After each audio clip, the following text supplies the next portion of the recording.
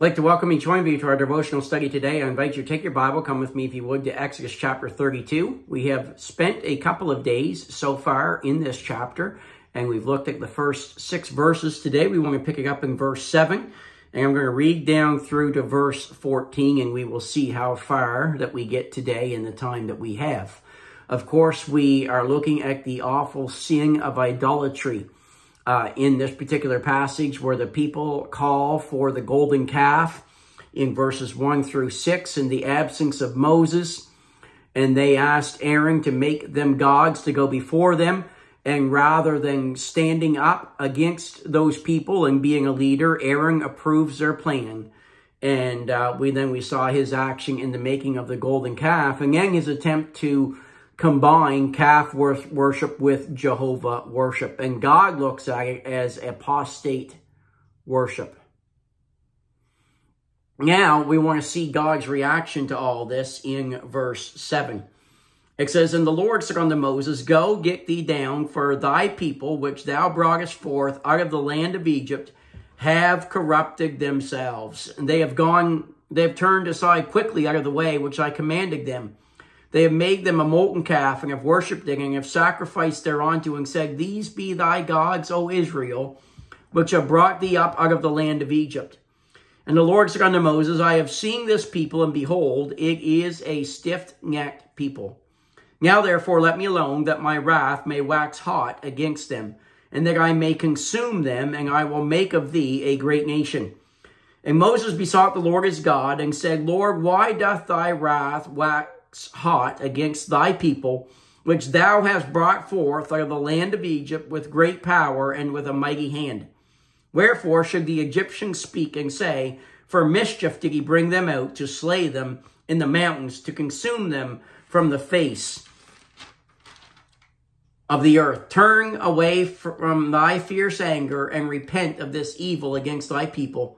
Remember Abraham, Isaac, and Israel, thy servants, to whom thou swearest by thine own self, and saidst unto them, I will multiply your seed as the stars of heaven, and all this land that I have spoken of will I give unto your seed, and they shall inherit it forever. And the Lord repented of the evil which he thought to do unto his people.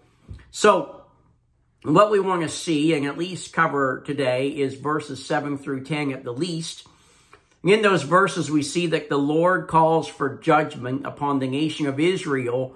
And then in verses 11 through 14, we're going to see that Moses calls upon God for mercy.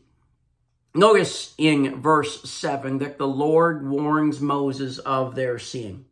It says, The Lord said unto Moses, Go get thee down. Focus, it was God's will that Moses went up into the mountain. It was God's will that he was there as long as he was, even though the people had corrupted themselves. They could not blame their sin on Moses. He was simply doing what God had called him to do. And now God tells Moses, Moses, it's time to get down from the mount. Go get thee down for thy people, which thou broughtest forth out of the land of Egypt. Notice this, have corrupted themselves. Friends, some of the worst corruption that we can see as a people of God is when we corrupt ourselves. And sadly, many times, you know, we like to try to blame it on the world or our neighbors or our family or things of that nature. But the truth of the matter is that every single one of us will give an account to God, that every single one of us have choices that we have to make. And nobody can corrupt you. You have to make the choice that you will allow yourself to be corrupted and the bottom line is you corrupt yourself. And we need to be very careful that we do not allow any corruption in our lives as a people of God. May it be our desire that like the psalmist in Psalm 139 verses 23 and 24, that we would say, search me, O God, and know my heart. Try me and know my thoughts and see if there be any wicked way in me and lead me in the way everlasting. So here God warns Moses that Israel had corrupted themselves. He warns Moses of the sin of Israel. And then goes on and clearly identifies what they have done. And he identifies it as idolatry. Notice in verse 8. And God tells them exactly what they've done. He says, They have turned aside quickly out of the way which I commanded them. Notice there was a specific way that God had commanded them in. And God says they've turned aside out of that way. And just as a side note, friend, let me say this, that God is commanding every one of us in his way. He is giving us, every one of us, directions on how we are, are to live our lives as a people of God. And we need, to be, we need to be very careful that we do not turn aside out of the way that he commands us. Then he goes on to say this in verse 8. They have made them a molten calf and have worshipped it and have sacrificed thereunto and said, These be thy gods, O Israel, which have brought thee up out of the land of Egypt. God clearly identifies their idolatry. And uh, there are some commentators who will claim that Israel only broke the second commandment here, but the evidence reveals that they actually broke also the first commandment. They, they not only worshipped other, they had worshipped other gods in Egypt, and now they had returned to that worship. Joshua 24. Joshua 24, and in verse 14, it says, Now therefore fear the Lord, and serve him in sincerity and truth, and put away the gods which your fathers served on the other side of the flood and in Egypt, and serve ye the Lord. Friends, the danger of hanging out in Egypt is that you will worship their gods. You will bow down to them. And we must remember that God sees all and that God knows all. We he, he, he tells them in verse 9 of Exodus 32, the Lord said unto Moses, I have seen this people. In other words, I've seen what they've done. I know where they're at. And behold, it is a stiff-necked people. We need to be very careful of following advice or giving advice like follow your heart.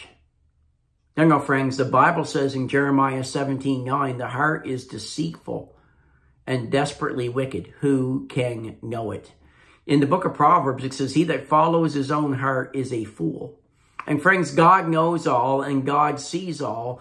And God not only sees what we do, but God knows even what is in the heart of man. He knows what is behind why we do what we do.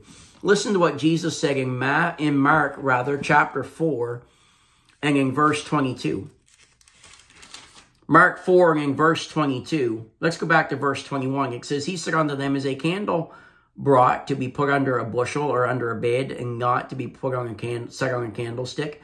For there is nothing hid which shall not be manifested, neither was anything kept secret, but that it should come abroad.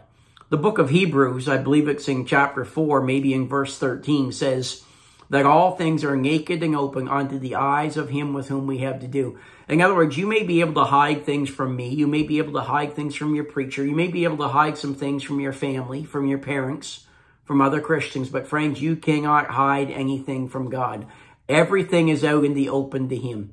And when he looks at your life, what does he see? Are there areas of your life that you need to repent of and that you need to make right before God? You need to seek him when it comes to the area of sanctification in your life and say, God, please reveal to me the things in my life that do not bring honor and glory to you. And then as we close this passage today in Exodus 32, we see God's twofold offer in Exodus 32 and verse 10. It says, Now therefore let me alone, that, I, that my wrath wax hot against them, that I may consume them, and I will make of thee a great nation. He says, here's the twofold offer. Let me destroy Israel, and then I will make great nations, Moses, from you. And we see here that Moses is now going to go before God, and he is going to beseech God on behalf of the people. But praise God, friends, that we have a merciful God. Without him, where would we be? Well, we'd all be in hell today is where we would be without our merciful God. But then praise God also for those who pray for you, those who beseech God on your behalf and ask God to work in your life, especially at times that you've walked away from Him and that you're not living as you ought to live. And they pray and ask God for His mercy and for His long suffering upon your life. But friends, may we be very careful to live our lives in a way that brings honor and glory to Him and not be guilty of these sins that are mentioned in this passage. Have a great day.